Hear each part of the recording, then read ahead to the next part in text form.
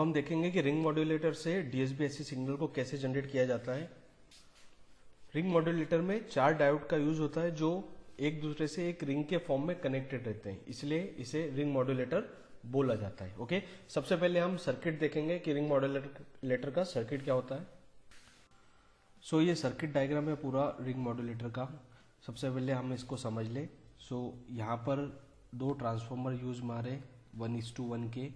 One is to one से क्या मतलब होता है कि जो वोल्टेज यहाँ पर हम दे रहे हैं, वही सेम वोल्टेज यहाँ पर हमें मिलेगा ओके और जो वोल्टेज यहाँ पर है, वही सेम वोल्टेज हमें यहाँ पर मिलेगा। ये ट्रांसफॉर्मर का काम है वन इज़ टू वन का, ठीक है?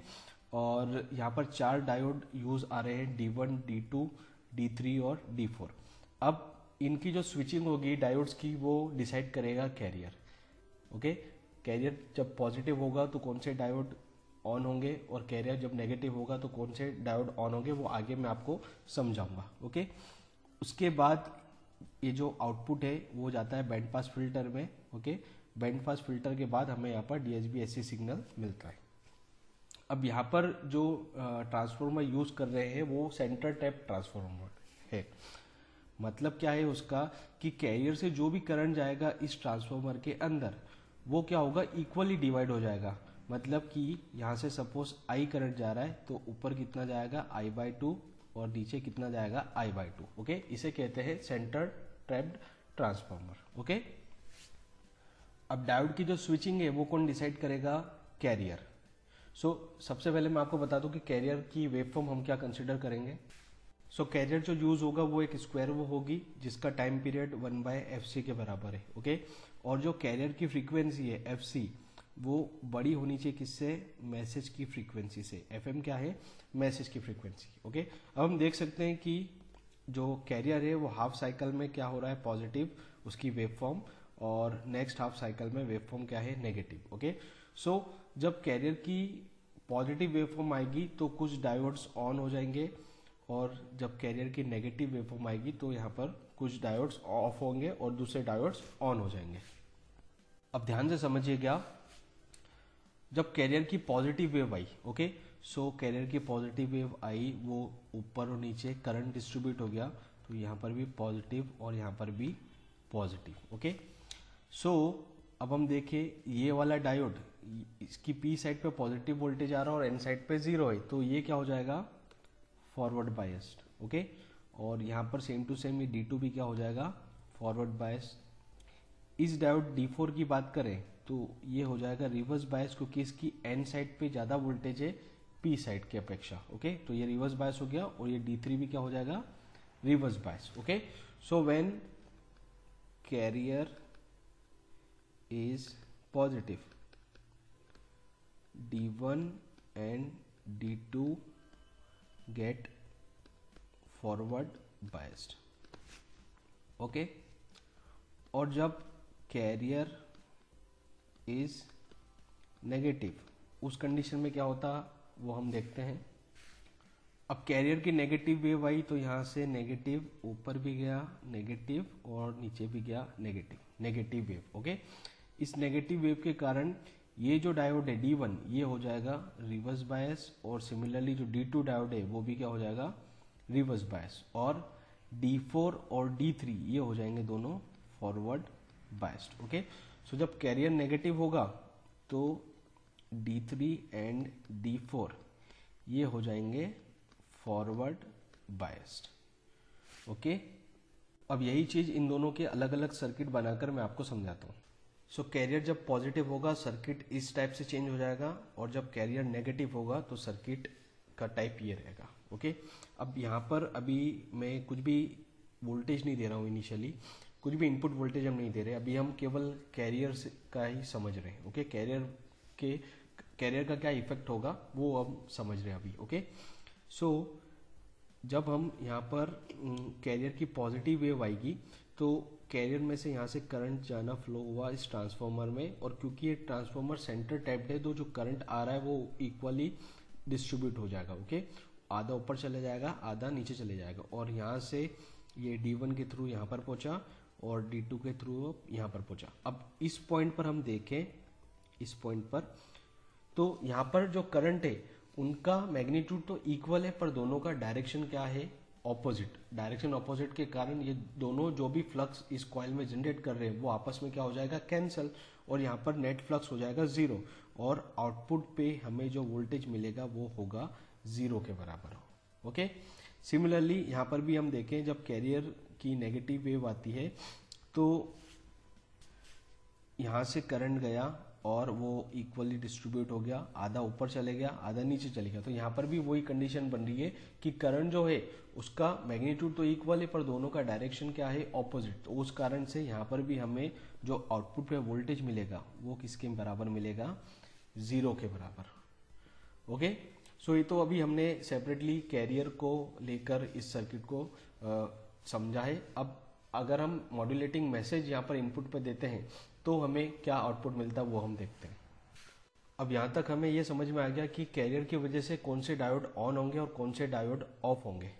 ओके कैरियर पॉजिटिव होगा तब क्या होगा कैरियर नेगेटिव होगा तब क्या होगा। ओके अब यहाँ पर अभी तो हमने कोई इनपुट नहीं लिया था, अब यहाँ पर हम इनपुट लेंगे। सो इनपुट क्या लेंगे हम? एमटी मैसेज अब एमटी मैसेज को भी देखें तो मैसेज एक लो फ्रिक्वेंसी सिग्नल है। Okay?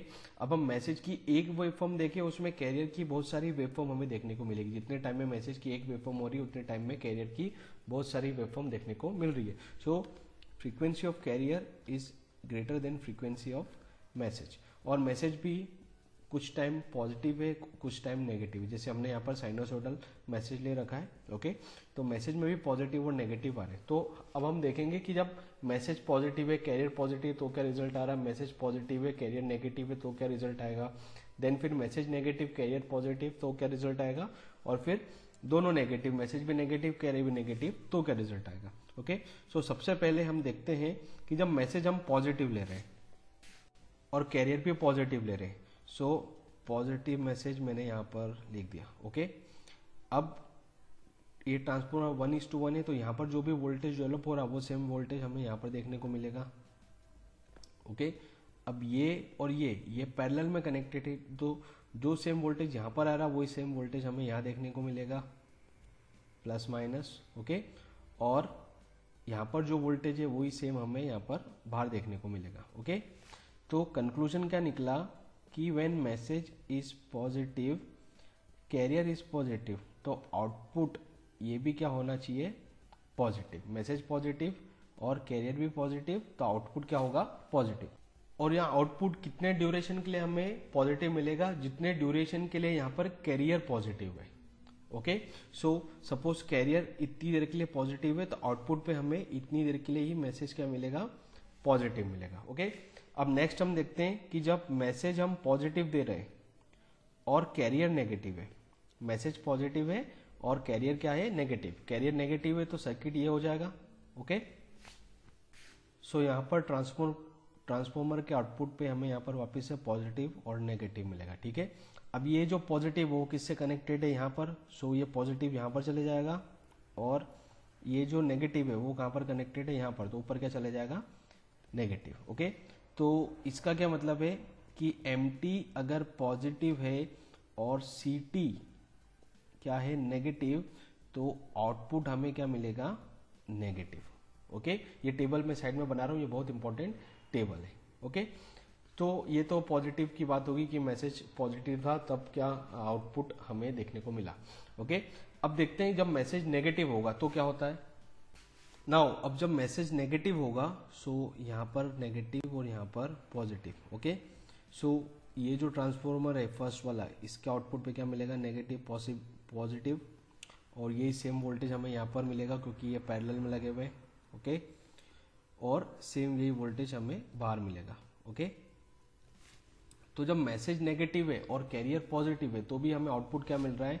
Negative okay so message जो है वो है नेगेटिव और कैरियर वो है पॉजिटिव तो आउटपुट हमें जो मिल रहा है, वो मिल रहा है नेगेटिव ओके और यहाँ पर कौन कौन से डायोड कंडक्ट कर रहे हैं? डी वन और डी टू ओके नेक्स्ट हम लेते हैं जब कैरियर नेगेटिव होगा और मैसेज भी नेगेटिव सो मैसेज नेगेटिव तो माइनस प्लस और यहाँ पर माइनस और यहाँ पर प्लस ओके अब ये नेगेटिव यहाँ पर जाएगा तो नीचे यहाँ पर माइनस आ गया और ये पॉजिटिव ऊपर जाएगा तो यहाँ पर आया प्लस ओके सो so, यहाँ पर हमें देखने को मिल रहा है कि मैसेज अगर नेगेटिव है और कैरियर भी क्या है? नेगेटिव तो आउटपुट हमें क्या मिल रहा है?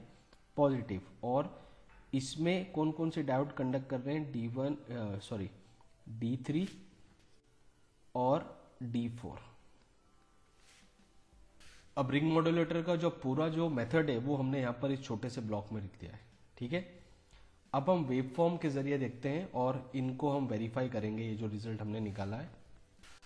सो रिंग मॉड्यूलेटर से जो वेव फॉर्म जनरेट होगी, वो यहाँ पर मैंने बना रखी ओके ये सबसे पहले ऊपर मैसेज की वेब फॉर्म है देन नीचे कैरियर की वेब फॉर्म है और नीचे यहाँ पर मॉड्यूलेटेड सिग्नल की वेब फॉर्म है ओके अब D1 और D2 जब ऑन होंगे, वो बताया गया है इस ग्रीन से ओके और जब D3 और D4 D4 डायोड ऑन होंगे, वो बताया गया है ब्लू से ओके अब मैसेज पॉजिटिव और कैरियर पॉजिटिव मैसेज पॉजिटिव और कैरियर पॉजिटिव तो आउटपुट भी क्या मिलेगा हमको? पॉजिटिव तो यहाँ पर देख सकते हैं पॉजिटिव जितने ड्यूरेशन के लिए कैरियर है, उतने ड्यूरेशन के एज इट इज़ मैसेज हमें वहाँ पर मिल जाएगा, ठीक है?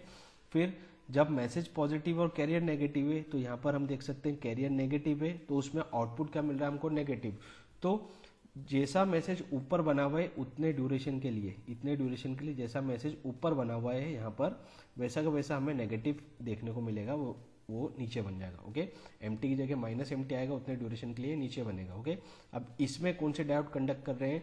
डी थ्री और डी फोर ओके फिर वापस कैरियर पॉजिटिव तो यहाँ पर हमें पॉजिटिव मिल रहा है। फिर कैरियर नेगेटिव तो यहाँ पर नेगेटिव पॉजिटिव नेगेटिव वैसे चलता रहेगा, जब तक कि मैसेज का पॉजिटिव साइड कंप्लीट नहीं हो जाता। उसके बाद मैसेज की नेगेटिव साइड आ गई है ओके नेगेटिव साइड में देखें हम तो सबसे पहले यहाँ पर कैरियर नेगेटिव है सॉरी मैसेज यहाँ पर देखें तो मैसेज नेगेटिव है और कैरियर क्या है? Positive okay so message negative और कैरियर पॉजिटिव तो आउटपुट क्या मिलेगा हमें? नेगेटिव तो यहाँ पर हमें नेगेटिव मिल रहा है ओके उसके बाद मैसेज नेगेटिव और कैरियर भी नेगेटिव इस ड्यूरेशन की बात कर रहे हैं। तो मैसेज नेगेटिव और कैरियर नेगेटिव तो यहाँ पर पॉजिटिव और इसी तरह ये वेवफॉर्म हमें मिलती जाएगी। ओके सो so, ये तो हो गया रिंग मॉड्यूलेटर का सर्किट डायग्राम और वेवफॉर्म को अब इससे जुड़ी जो मैथमेटिक्स है वो भी हम डिस्कस कर लें। अब ये जो ट्रांसफॉर्मर का जो आउटपुट है यहाँ पर जो ट्रांसफॉर्मर का आउटपुट है वो हमें मिलता है M T into C T जो कैरियर है और जो मैसेज है उनका मल्टीप्लीकेशन यहाँ पर हम देख सकते हैं कि ये मैसेज और कैरियर मल्टीप्लाई हो रहे हैं और उसकी वेवफॉर्म ये आ रही है। ओके तो यहाँ से इसको जब बैंड पास फ़िल्टर से पास करेंगे तो डीएचबी ऐसी सिग्नल कैसे जनरेट होगा वो हमको मैथमेटिक्स थोड़ी उसकी देखनी है। ओके सो कैरियर हमने यहाँ पर जो यूज़ करी है वो है स्क्वायर वेव और स्क्वायर वेव की जो इक्वेशन होती है वो मैं डायरेक्टली यहाँ पर लिख रहा हूँ। सो so, ये इस कैरियर की स्क्वायर वेव की पूरी फोर ईयर सीरीज़ है। ओके अब यहाँ पर हम तीन चार टर्म निकाल के देखें तो सीटी हमें मिलेगा। सो so, शुरू की तीन टर्म मैंने निकाल के रख रखी है कैरियर की ओके अब जैसा कि मैंने आपको बताया है कि यहाँ पर काम क्या हो रहा है कि मैसेज और कैरियर को मल्टीप्लाई करना है। सो एस टी यहाँ पर जो हमें मिलेगा वो होगा M T into C T okay और जिसे हम लिखेंगे फोर बाय पाई ये एम टी सी टी में एम टी का इंटू करना है।